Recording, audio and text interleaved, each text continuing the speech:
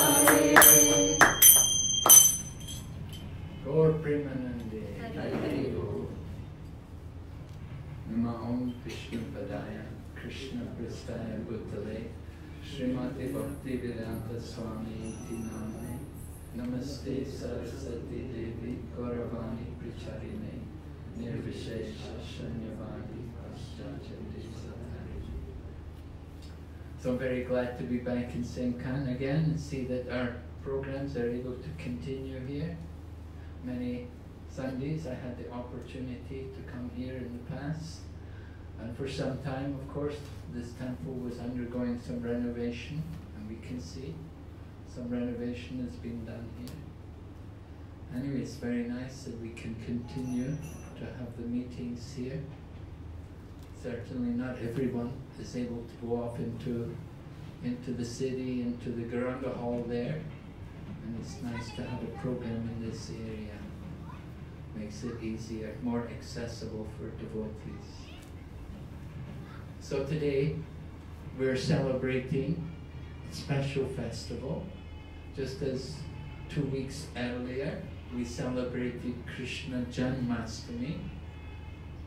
And today, although it's not the actual day, it was actually on Friday, uh, but because we only meet once a week, we're celebrating today. So the occasion is called Rad Astami.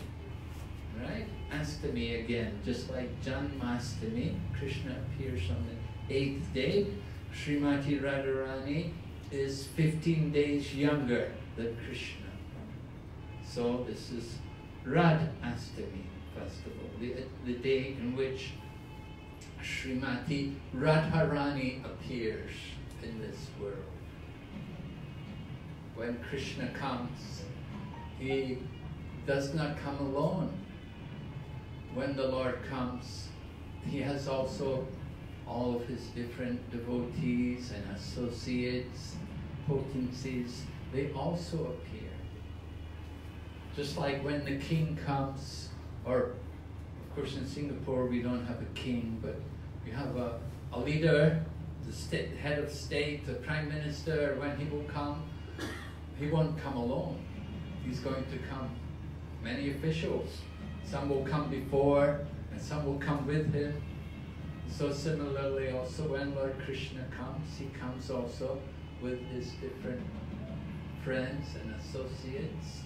Nanda Maharaj, Mother Yashoda, Vasudev, Devaki. And then Balarama also comes as the seventh child, Vasudev and Devaki.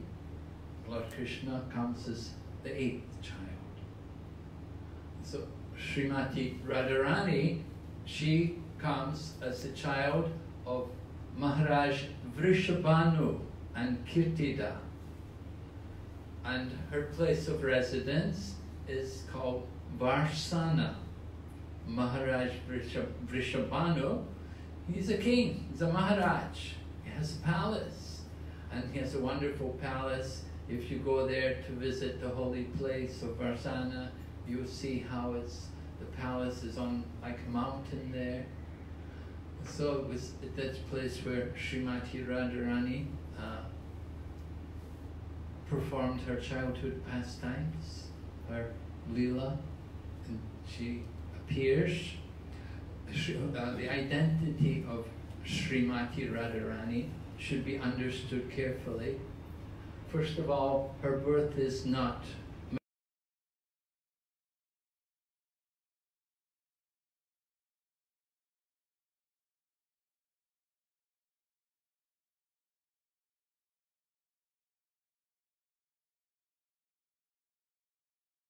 Maharaj Vrishabhanu actually found her on top of a 1,000 petal lotus flower and brought her home.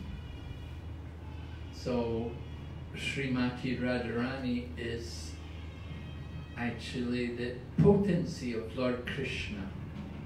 Lord Krishna has three main energies. There is the material energy, just like this world here in which we're in, the material world. So that's one of the energies of Lord Krishna. And then there's also the spiritual world. the spiritual create manifestation, which means like Vaikuntha, all the planets in the Vaikuntha. And then higher than Vaikuntha is Goloka. So this is all the spiritual realm. And then the living entities, all of us living, not only humans, but all different living entity, all different forms of life, are all the marginal potency of Lord Krishna. So three main energies. And this, this spiritual energy is described to have three different categories. One is called the Sandhini potency, by which everything is maintained. The other is the Samvit potency, which is the knowledge potency. And then there's the Ladini potency, which means the pleasure potency. Krishna is a person. We want to remind everyone, in case we forget, that Krishna is a person, a transcendental person, and he likes to enjoy, just like all of us. We like pleasure. We're looking for pleasure. It's not wrong. It's natural to want to have pleasure. We want to enjoy. Where to find that enjoyment? You know, sometimes the children will say, take me here, I want to go there. you know, we have our ideas where we're going to find pleasure. It's difficult to understand, really, where we should go to find pleasure. It's not wrong to want to pleasure. It's natural because it's the nature of the soul to be happy. And just as we are souls, Lord Krishna is the supreme soul. And he likes to enjoy. He likes to enjoy in an unlimited way. Mm-hmm. Right? Our enjoyment, we, we're not, we're, it's easier for us, you know. We're, we're not so demanding, little things please us. But for Lord Krishna, He's the Supreme Lord, Bhagavan. He has everything. How will he enjoy? How to please him? How to give pleasure to him? There has to be something very, very special to give him pleasure. And that very, very special person who gives Lord Krishna pleasure is personified in the form of Srimati Radharani. Just as Lord Ramachandra comes, he does not come alone, right? We see, we see Sitaram, Sitaram. Mother Sita is with Lord Ramachandra. And Lord Narayan, his consort is Lakshmi, Lakshmi Narayan, right? Hmm? Lord Shiva also, he has Parvati with him. So the same way, Lord Krishna comes with Srimati Radharani. Initially, when people worship Krishna, they simply worshipped the form of Krishna. They didn't appreciate that Lord Krishna also has his consort. Uh, it was actually Lord Chaitanya Mahaprabhu who taught the real understanding of Lord Krishna, how Krishna comes with his potencies. So it is said Radha and Krishna are actually one, but they separated themselves eternally as Radha and Krishna. We say Radha Krishna. Radha representing this Ladini Shakti, this pleasure energy of Lord Krishna. The perfect form, the perfect personality in the form of Srimati Radharani. Her purpose, her desire is to give pleasure to Krishna. And she does this in the most wonderful ways. She has very special qualities. Of course, we could say she is Krishna's own potency. And we say Krishna is Bhagavan, he is unlimited, he has all the wealth and all the beauty and all the strength and all the knowledge and all the fame as well as all the renunciation because he is Bhagavan. In the same way, Srimati Radharani is also unlimited in her qualities as appearing in, the, in the, the female form as a gopi in the land of Vrindavan.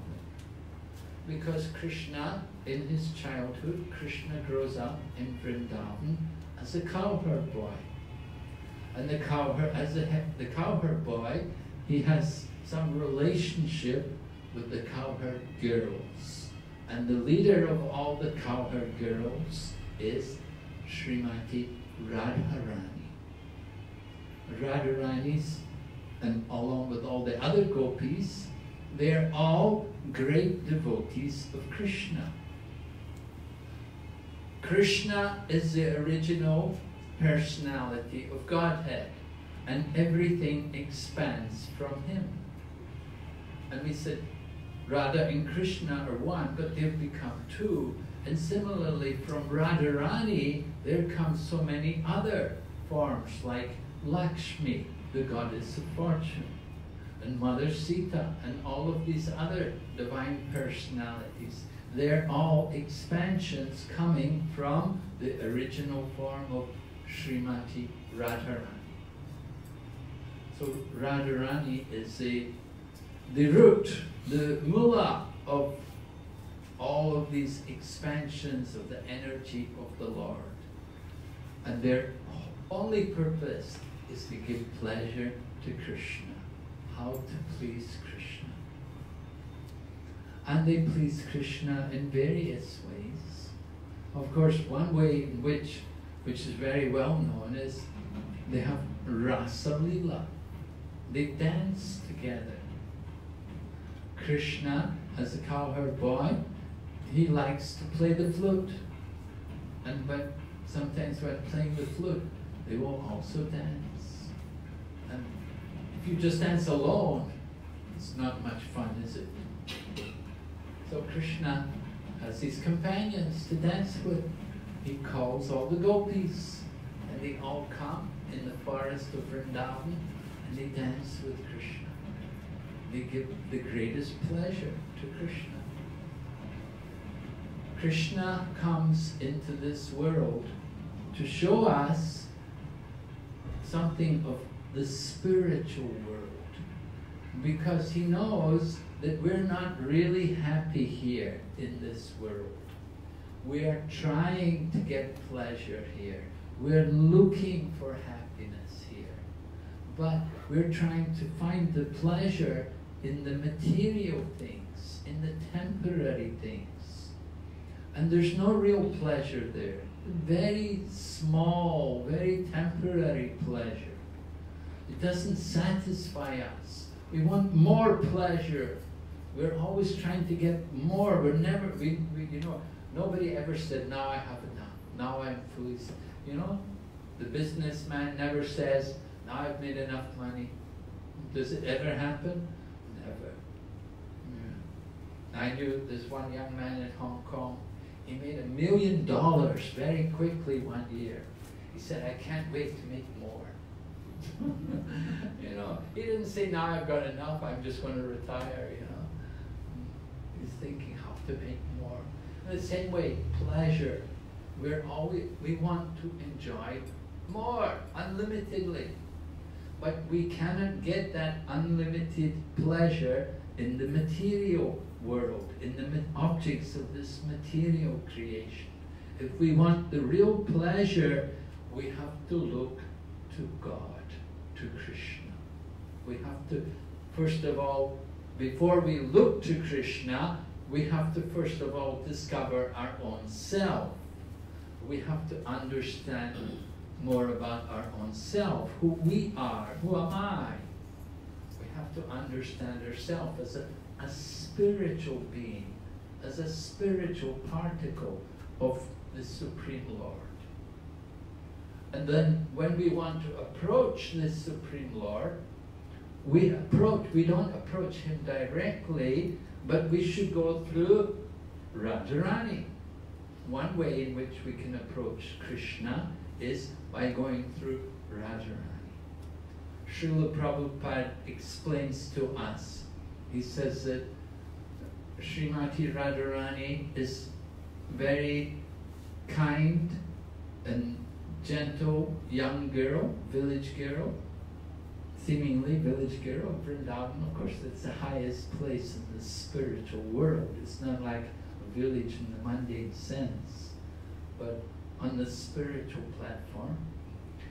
And she's very kind. And if we take shelter of her, if we're somehow able to engage in the service of Srimati Radharani, and if we can please her, then she can introduce us to Krishna. So this is why this Radhastami festival is very, very important. Because it's a day in which we appeal to Srimati Radharani that you kindly be merciful to me. Can you introduce me to Lord Krishna? Can you bring me to Krishna? If Srimati Radharani will accept us, then certainly Krishna will accept us because she is very dear to Krishna. Because she also has unlimited qualities to attract Krishna. It is said Krishna is known as Madan Mohan, meaning he can conquer Cupid, Mad- Madan. Oh, hmm. Cupid, right? He is the control. We're all controlled by Cupid. Cupid fires his arrow into our heart. He gets us, you know, we're entangled material world. No hope. You know, Cupid cap- captures us. But Krishna, he conquers Cupid. But Radharani, Srimati Radharani, she is called Madan Mohan Mohini. That she attracts Krishna. Krishna conquers Cupid, but Radharani, she can conquer Krishna. She's so powerful. This is her Shakti, that she has the greatest uh, qualities, divine attributes, which are giving the greatest pleasure to Krishna. So we want to approach Radharani. And in fact, it is said that this, the spiritual teachers, they have the mode also of being one of the servants of Srimati Radharani. So we approach Radharani through the spiritual teachers because the spiritual teachers either they're a, an, an associate of Lord Nityananda who comes with Lord Chaitanya or they're a servant of one of the servants of Srimati Radharani and her gopis. There are countless numbers of gopis, maid servants, all these cowherd ladies. Are countless number, but of the countless number, it is said 16,000 are very special. And of the 16,000 gopis who are very special, 108 are even more special. And of the 108 who are very special, 8 are very, very special. And of these 8 gopis, there are two who are particularly. And from these two, there's one who is outstanding, who attracts Krishna more than all others. And that is Srimati Radharani. The very name Radharani actually does not come in the scripture. It doesn't, it's not mentioned in the Srimad Bhagavatam, where we usually read about Rasa Lila and about the pastimes of the gopis. But there is reference to a gopi, a particular gopi. And although her name is not mentioned as Radharani, indirectly her name is mentioned by the word Aradhanam. Aradhanam meaning one who is very expert in the worship of Krishna. So this is Radharani's position, that she is very expert in the worship of Krishna. And her glories are understood by so many great saints and sages. And if you go to Vrindavan even today, you'll find the people of Vrindavan, how they, they're regularly chanting her name.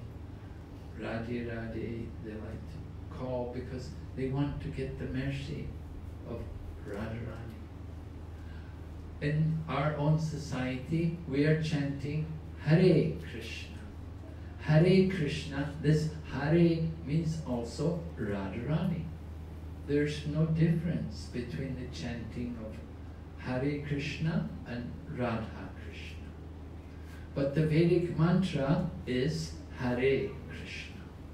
We're following the scriptures by chanting this Vedic mantra. But the reference is to Radha and Krishna. The devotee is chanting the names of the divine couple, Radha and Krishna.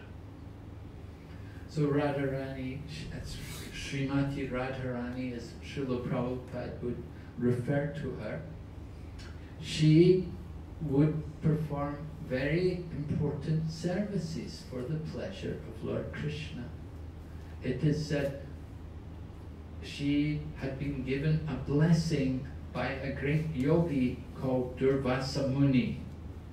Now Durvasa Muni, you know, he's a yogi, he, he's the big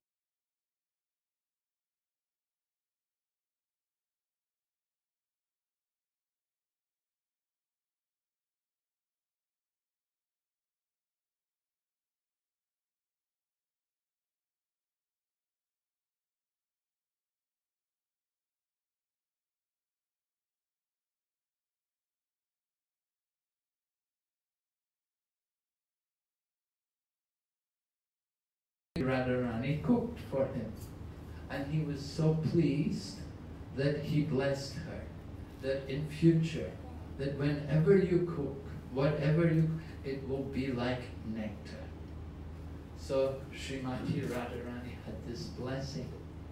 So every day when Lord Krishna would go off to the forest with the other cowherd boys, taking the cows to graze in the forest, Mother Yashoda would call Srimati Radharani to come to their home.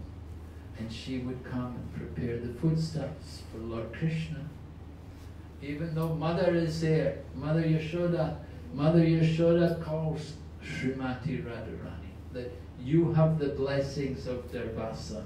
You come, you cook for my son. I want my son to get the best. I think you can do better than me. So you could just imagine how exalted Srimati Radharani must be. That if she can cook even better than Mother Yashoda. So she was coming and cooking for Lord Krishna. And Lord Krishna would be relishing, of course, her cooking. But they were enjoying different dealings. You know, loving Lord Krishna likes to enjoy. Just like if you read the Krishna book, which is a very wonderful book, where Prabhupada describes to us the whole Leela of Lord Krishna, not only in Vrindavan, but also Mathura and Dwarka. And you can hear how Lord Krishna sometimes would tease people. There's one interesting story there where Krishna teases Rukmini. Krishna was in Dwarka and they were already grandparents. They had grandchildren. And one day Krishna began to tease Rukmini and tell her, you know, I'm not really qualified to be your husband. You should have married somebody else. You know, I think you should go and, you know, I think you made a mistake. You know, I'm only a cowherd boy. You're a king's daughter. I'm not really worthy for you. There were so many other kings who wanted you. Like oh, Krishna was teasing Rukmini. So Krishna enjoys these joking words. And it is actually said that the pleasure in family life is the joking words between the husband and wife. So Krishna would also tease Radharani sometimes. And particularly when he knew that Radharani had been laboring all day to cook for him. He wants to, he wants to tease her a little bit. Because Srimati Radharani is very anxious to know if Krishna is enjoying his cooking. So she pre prepared a, a very special sweet for Krishna. And it took very long time, you know, to prepare. She's cooking on, you know, there's no gas, cooking on hot fire, probably using gobar, the cow dung, cooked slowly. You have to be very careful, you don't burn the milk and so on. So she was really working over these hot stoves the whole day, cooking these special preparations. And this one sweet for Krishna, she took a lot of time and trouble to prepare. So she was anxiously watching. Lord Krishna came home that night and sat down, and the different dishes were brought. And Krishna saw this particular sweet. And he knew this is oh, this is my favorite, this has been prepared specially for me, that Srimati Radharani must be wanted, she must want to please me. And Krishna could see over at the door, Radharani was hiding behind the door, looking to see if Krishna would enjoy the sweet. So Krishna would take tiny morsel of the sweet and put it on his tongue and then screw up his face. And Radharani would be standing over the doorway and she'd, oh, oh, you know, thinking, oh, maybe I put salt instead of sugar or something. maybe I, I must have done something wrong. I don't know why it's so bad. And Krishna took the sweet, put it on Madhu Mangal's plate. You know Madhu Mangal? Krishna's friend, you know, the big Brahmin, you know, fat Brahmin guy, little Brahmin and Krishna's friend, he's always with Krishna. So when they take prasadam, sits beside Krishna, Krishna took the sweet, put it on Madhu Mangal's plate. Madhu Mangal took the sweet. I went, wow. oh, so good. You know. So like this, this was, this is uh, how Krishna would be enjoying teasing with the gopis. And similarly, when they're dancing. Srimati Radharani has two wonderful qualities over all others which are particularly pleasing to Lord Krishna. One was her cooking, very important, right? In Singapore, people don't like to cook, right? Everybody likes to go out. Nobody likes to cook. Everyone goes out. But Radharani, she doesn't go out she stays home to cook, right? And another thing she does, she's also a very good dancer. Krishna likes to dance. You're going to dance, and Krishna dances a long time. You know, he doesn't get tired. it, it said sometimes Krishna will dance for the whole night of Brahma. Do you know how long a night of Brahma is? It's as long as the day of Brahma. One day of Brahma, Sahasra Yuga Paryantam Maharaya Brahmano Vidu. 1,000 yugas taken together, one day of Brahma. 1,000 cycle of the four yugas. So the, the night of Brahma is of an equal duration. And Krishna would dance Rasa Lila with all the go for one night of Brahma. of course, they dance in their spiritual bodies. we have to understand that their bodies are not material, spiritual bodies. When Lord Krishna calls the gopis to come, their bodies, their material bodies, they're still there in the home of their husband, laying on their bed, asleep. But they go in their spiritual bodies. They go in their spiritual bodies to take part in the pastimes of Lord Krishna. And this Rasa Lila is another of the wonderful pastimes which Krishna enjoys with his most intimate, the very best of his devotees. As I said, even Lakshmi is not allowed to join in the Rasa Lila. Lord Shiva wanted to join. They said one time Lord Shiva also wanted to go to Rasa Lila. They said, you can't go, you have to be a gopi. So he took bath. He took bath in this kund and he came out in the form of a gopi. And he went to Rasa Lila. And Krishna, who is this gopi? Which village are you from? You know? And then they found out, oh, this is oh, Lord Shiva. And they told Lord Shiva, you can't come to Rasa Lila. This is only for the gopis. But the, Lord Shiva was given the position Gopishwara. He was given the position, the Lord of the gopis. And there's a Shiva Linga there in Vrindavan which they dress as a gopi, as Lord Shiva. And so he's worshipped in that particular, for that particular lila. So Lakshmi also, she wanted to go to Rasa Lila. And she went into Braja to do austerities. Usually Lakshmi's like this, right? Hands are open. She's giving blessings. I don't know, she didn't bless me. Did she bless any of you? They, they say she's giving blessings, you know.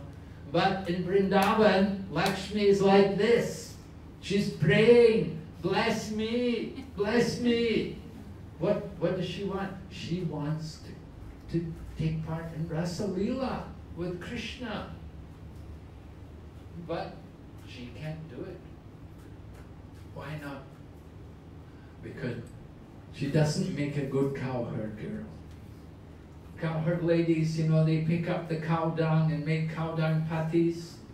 Could you imagine women from Singapore doing that? Women from Singapore, do you think you could ever make a cowherd girl? Not easy, yeah.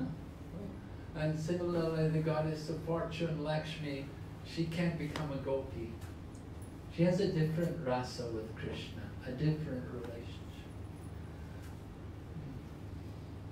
Anyway, uh, Srimati Radharani, along with the other gopis, they all dance with Krishna in the forest. They perform Rasa Lila. But sometimes when they're dancing together, sometimes uh, they become a little proud. And sometimes Krishna knows they're feeling, because when Krishna dances with them, Krishna expands himself to dance with each of the gopis. And each gopi is thinking, oh, Krishna's dancing with me. I'm special. Oh, I've got Krishna, he's dancing with me. So then Krishna will disappear. He sees that this, this gopis are becoming proud, he will disappear. But when he disappears, he will take one gopi with him. The other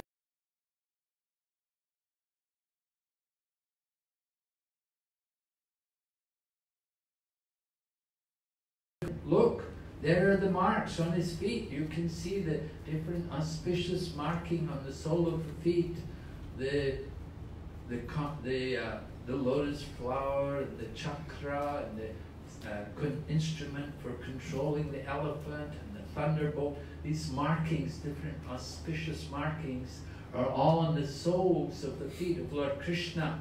So the gopis saw Krishna's footprints. But then they saw, oh, look, someone is with Krishna. The gopis understood some other gopi had gone with Krishna and left them. And they thought, oh, who is this gopi?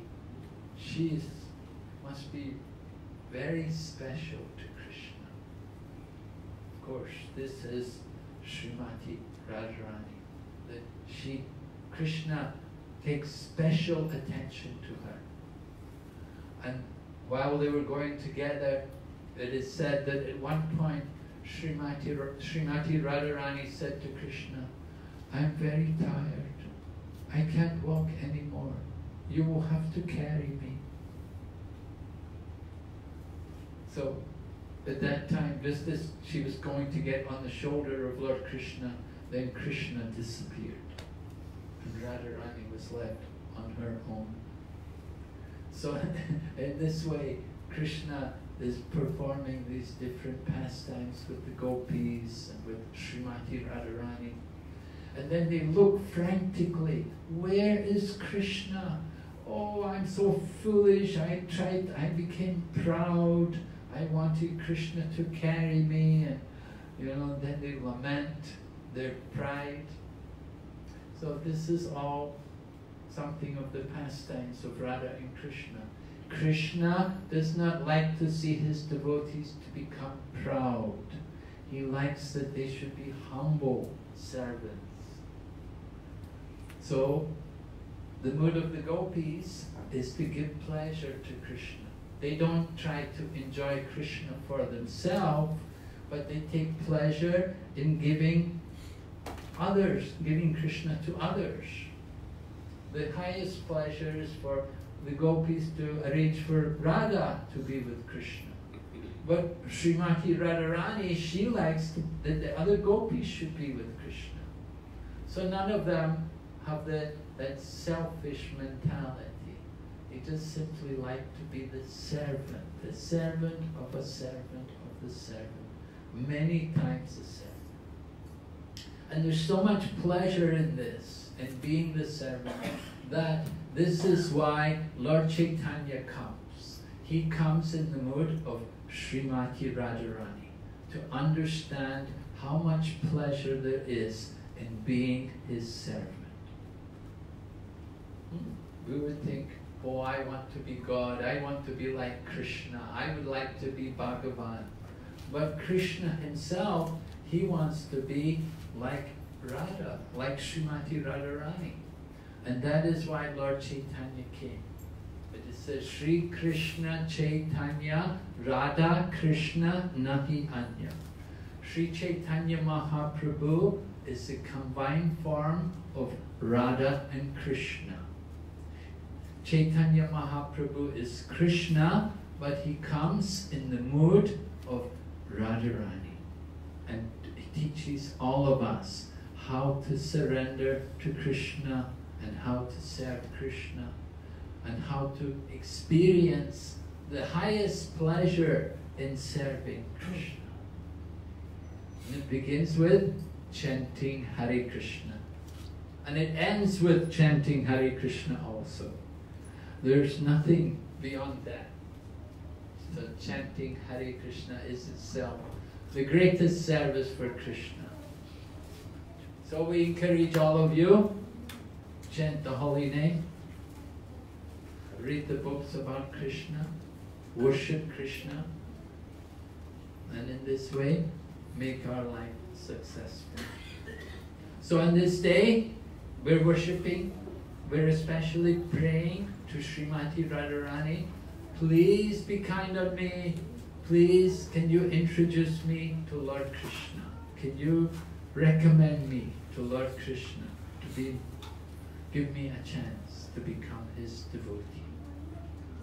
Okay, are there any questions? Anything you'd like to ask? Yes, Prabhu? Prabhuji, uh, we have learned that uh, when Lord Vishnu comes in Avatar, uh, Lord Krishna and Lakshmi, who was Lakshmi? Was it Subhadra or was it Radha? Okay, when when the Lord comes is Vishnu, who is Lakshmi? Is she Subhadra or is she from Radharani? Yes. Well, I was explaining a little bit about that. I was saying that Srimati Radharani, she is the root of everything. Everything comes from her, right? And she and her she comes, she expands herself in many forms, many as many different gopis. She has her two very intimate friends. There is Lalita and Vishaka. Lalita and Vishaka, they're also gopis, and they're friends with Srimati Radharani. Srimati Radharani is the leader of all the gopis. And there's Lalita, who's a little older than Radharani, and Vishaka, who's a very intimate friend of Radharani. They're all gopis. The goddess, and the, but it, while the gopis, these gopis are also goddesses of fortune. You see? But there's particular goddess of fortune who are the consorts of Lord Narayan. Right? That's in the Vaikunthas. You get Lord Narayan and, and you get Lakshmi, goddesses of fortune there in the Vaikunthas, not in Goloka. They reside in the Vaikuntha planets, which is different, different rasa. You see?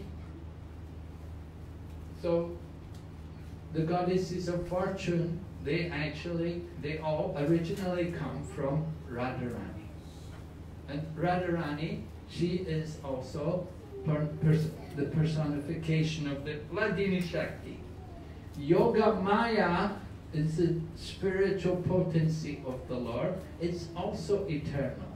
And it is just like we said, Radharani is a Hladini Shakti, pleasure giving potency.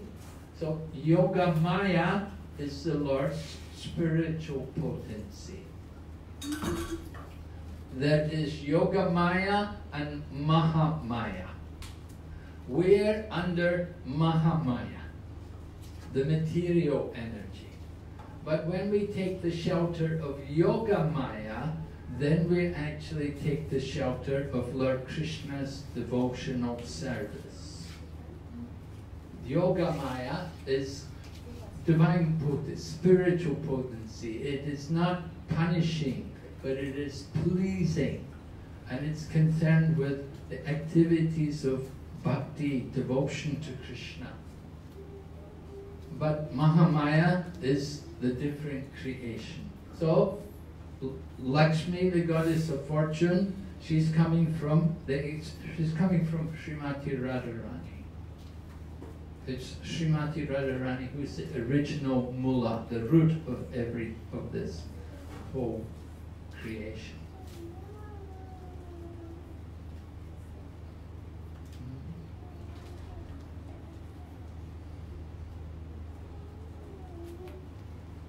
Any other questions anybody has? So if anybody asks you who is this lady with Krishna, now you can all know, you can tell. This is Radha, right?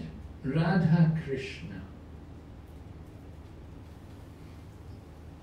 There are other temples, like if you go to Dwarka, you'll see there's Rukmini Dwarkadish. Krishna in Dwarka is called Dwarkadish. And there he is with Rukmini, his wife, Rukmini. Srimati Radharani is the original form of Rukmini. She is also the, the root for Rukmini. Rukmini, the, Ruk, the, when the Lord comes as Dwarkadish, that is in Dwarka. Krishna's pastimes in Dwarka are perfect, but they're more perfect in Mathura, and they're most perfect in Vrindavan. So it's Vrindavan which is the supreme abode of Krishna. A little different.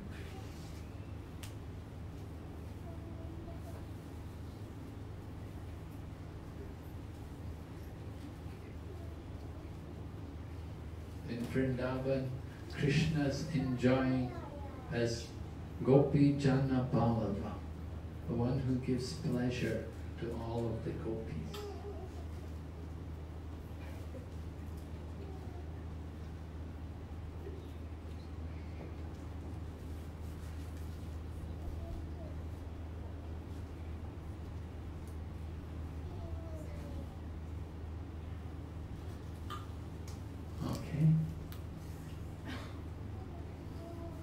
other questions?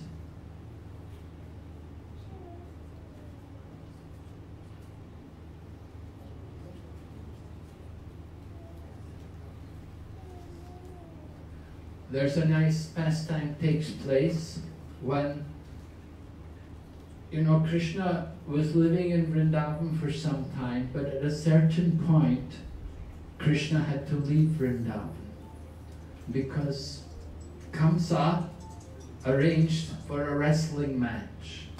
And Lord Krishna and Balaram were brought out of Vrindavan to go to Mathura to take part in the wrestling match. So Krishna was then living, he, spent some time staying in Mathura after that. After he killed Kamsa, he freed Vasudeva and Devaki from the prison house of Kamsa. And then Lord Krishna was living in Mathura. But the gopis were all left in Vrindavan. And they were greatly feeling the separation from Krishna. Because they loved Krishna so much. They didn't even like to see him. You know, when he went to the forest every day to go over the cows, they would lament and they would be anxious waiting for him to come home. It is said they even cursed Brahma, that Brahma, you're a hopeless creator because you gave us these eyes and our eyes are always blinking and we cannot see Krishna fully because our eyes are blinking. We're not able to always see Krishna. So you're a hopeless, Brahma. You did a hopeless job in creation. If you were a good creator, we would be able to see Krishna all the time. But my eyes are flickering. I'm not able to see. So the gopis, they had so much attachment for Lord Krishna. Lord Krishna had gone off to Mathura and the gopis were left there. So at one point, Krishna sent one of his friends, a relative named Uddhav. Uddhava came from Dwarka and he came to visit Krishna in Mathura. Now Uddhav is a, he was a very dear friend of Krishna and he was also a relative. He was the, the son of one of, uh, well, Krishna's father was Vasudeva, and Vasudeva had a brother, and his one of he was one, one of the sons of the brothers of Vasudeva. So he looked almost like Krishna. He had actually achieved Swarupya Siddhi. He had the same bodily features as Krishna. You know, very, very beautiful, all attractive. And he wore also Krishna's old clothes. He would wear Krishna's garments and Krishna's flower garland.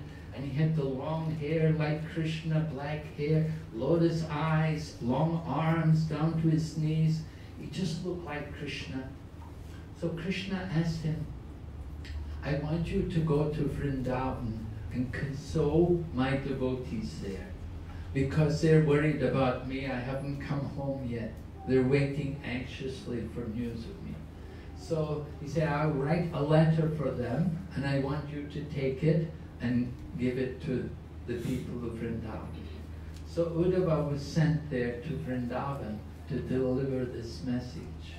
So when Uddhava came there to Vrindavan, he first of all met with Nanda and Yashoda, and then, well, he, he got there to Vrindavan, it was in the evening, so he met first of all Nanda and Yashoda that evening. Then the next morning, when as the sun rose, then the gopis saw this chariot had come into Vrindavan. The gopis were worried. They thought, oh no, a chariot. This this is like the chariot which took away Krishna and Balaram. What, what's the chariot come for now? They've already taken Krishna and Balaram. Why have they come again with this chariot? But then they saw Uddhav and they saw, they could immediately understand he must be a messenger of Lord Krishna because he looks just like Krishna himself. So the gopis were very anxious to hear from Uddhava, and Uddhava also wanted to read Krishna's message to them. But before he had a chance to read the message, they, they first of all had the uh, uh, initial meeting between each other. And the gopis were somewhat suspicious of Uddhav. They didn't know that he'd actually come with a message for them from Krishna. And they thought, why has he come? What does he want? Maybe he's come to do us some more harm. Maybe he's not satisfied with all the pain which he's given us. Maybe he wants to give us more pain. So they were anxious to hear from Uddhava what he'd come, why he'd come to Vrindavan. And while they were talking with Uddhava, at this point a bumblebee began to fly around.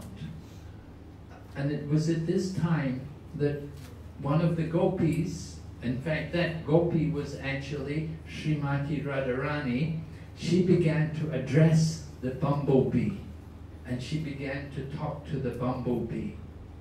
That the, because the bumblebee was flying around and it was going even to her feet. And she was and she would address the bumblebee, don't come near me. I know who you are. You're coming from that Krishna. And you're of the same nature as your master, Krishna. Well, I know the nature of your master. Just like you, you go to the flower and you take the honey from one flower, then you leave it and you go to another flower. You're like that. You're ungrateful. Just like the, the students come to the teacher, they take the knowledge, they get the education, and then they go and they leave the teacher. We, I know all about you. I know what your master is like. You're of the same nature as your master. So don't come near me. Radharani was speaking to the bumblebee in this way, addressing him. You are the unreliable servant of an unreliable master. Krishna promised us he was going to come back. He's not come back.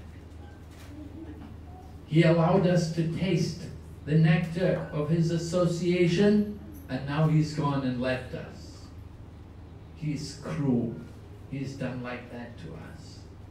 We know all about this Krishna. We don't like to hear about him anymore. We know what his nature is like. Purnamasi also told us, Purnamasi is the elderly lady in Vrindavan, and she, she the gopi said, Purnamasi told us everything about Krishna. In his previous life, he was a Kshatriya. And as a Kshatriya, he was called Lord Rama.